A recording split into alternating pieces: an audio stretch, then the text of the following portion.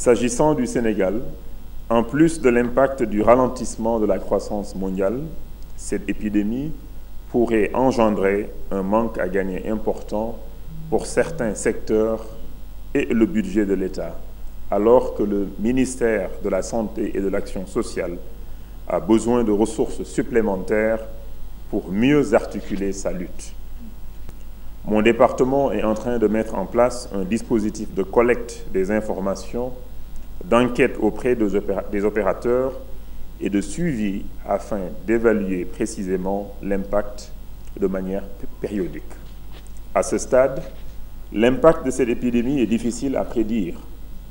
Tout dépendra de son évolution, mais aussi de la rapidité et de l'efficacité de nos interventions collectives.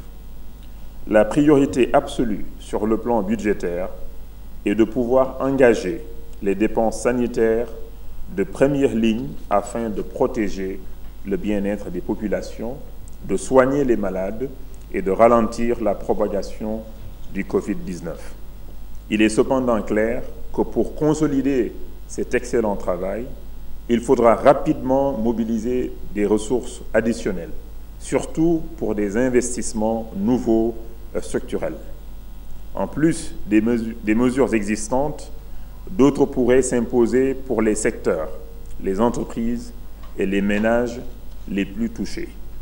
Au niveau budgétaire, une restriction prolongée sur la mobilité des personnes pourrait entraîner un repli de nos importations en provenance de ces pays avec un impact négatif sur les recettes douanières, se traduisant par une limitation des capacités d'intervention de l'État. Nous sommes tous conscients du fait que la propagation, du, coronavirus pose un réel danger et que la situation pourrait très bien s'aggraver.